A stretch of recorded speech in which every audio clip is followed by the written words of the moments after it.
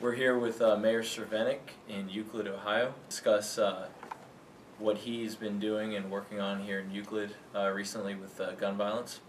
Um, Mayor, I lost my sister at Virginia Tech on April 16th in 2007, and ever since then, I've been an advocate to fix our background check system and to close some of the loopholes that we found exist in the law.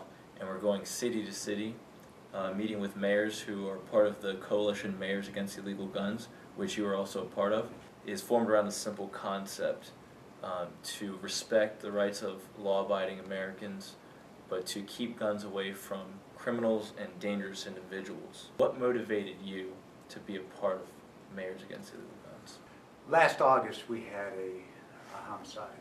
Uh, An 18-year-old, a 17-year-old, 18-year-old child uh, was shot dead over, we think, a car. And we had al- also had before that a couple of other violent events that may or may not have included gunfire and and guns.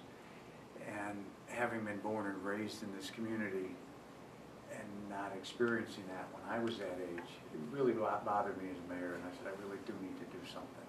That we have to find a way to keep illegal guns out of everybody's hand, not just youth, anybody's hands who shouldn't have a gun.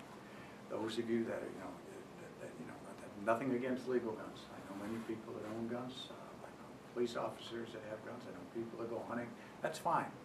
Right, that's not the problem. The problem is these illegal guns and these guns that are in the hands of criminals, and that needs to stop.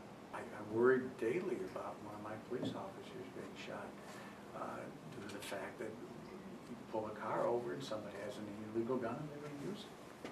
And so that's, that's a very tough thing for a mayor. I sit back and know that a policeman is out there doing his job, and somebody, because didn't have to go through a background check for whatever reason and shouldn't own a gun, has the ability to shoot at a police officer if they get stopped for breaking the law. So that, it's difficult. With the shootings that occurred last summer here, uh, the perpetrators had extensive criminal records already, yet still were able to acquire guns.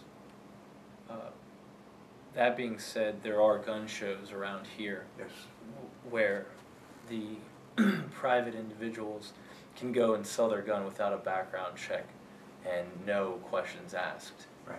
What do you think is the solution to that? I think legislation should be passed. I think every single person that buys a gun, whether it be at a gun shop, at a gun show, or anything else, needs to go through an extensive background check. You know, we don't, we don't let volunteers coach our children without doing, getting fingerprinted and doing a background check. So for goodness sakes, if you're gonna buy, you know, you're gonna sell somebody a gun, let's take the time and do a background check.